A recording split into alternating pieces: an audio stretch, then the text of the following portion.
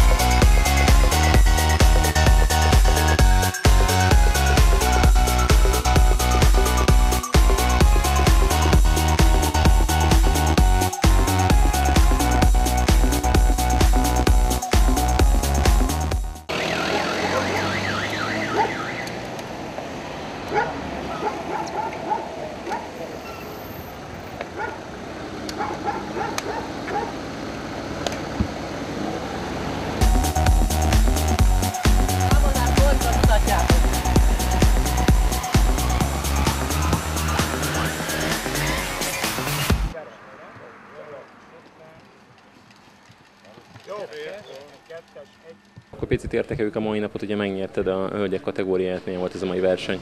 Igen. Ö, hát nagyon meleg volt, nehéz volt a pálya. Hál' Istennek nekünk csak három kört kellett végigszenvednünk, és volt egy nagyon jó ellenfele, ellenfelem, korábbi magyar bajnok, Puszford Diana, aki most újra biciklizik, és, és hát nagyon jó meccs volt. Élveztem végig, jól éreztem magam, leszámítva azt, hogy nagyon melegen volt. Aztán igazából azzal nyertem meg, hogy tovább tudtam elmenni a mezőnyel, mint ő, és utána már nem ért utol. Úgyhogy ennyi történt nagyjából. Köszönjük szépen, gratulálunk a győzelemhez. Ennyi kellett.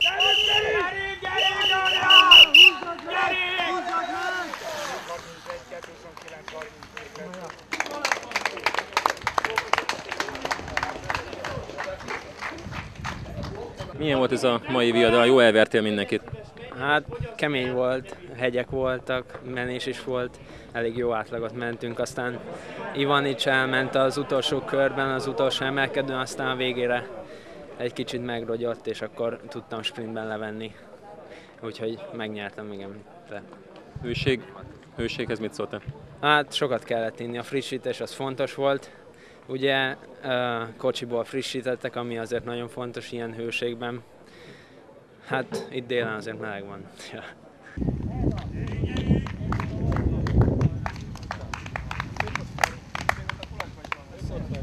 Kicsit jobbra számítottam, mert pont az egyik ellenfelem nem volt itt, és előrébb kellett volna a pont miatt helyez, kicsit helyezkednem, de hát sajnos görcsöltem a végén, tehát utolsó két körben már nagyon nem esett jól a dolog.